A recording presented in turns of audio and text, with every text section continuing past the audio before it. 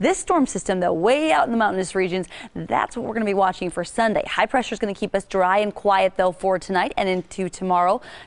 Check out those temps. They're going to be going upwards for your Saturday into the 70s. A little bit more humidity as we get into your Sunday. This is the reason why we'll watch one round of showers swing on through mainly during the morning hours. Most of that should be before about 10, 11 o'clock.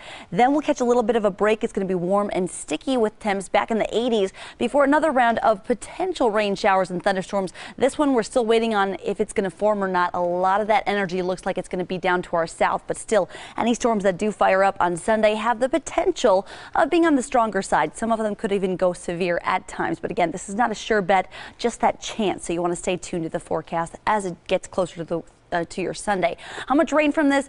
Really not looking like a huge rainmaker. Could see a quarter of an inch up to a half an inch. We desperately do need the rain.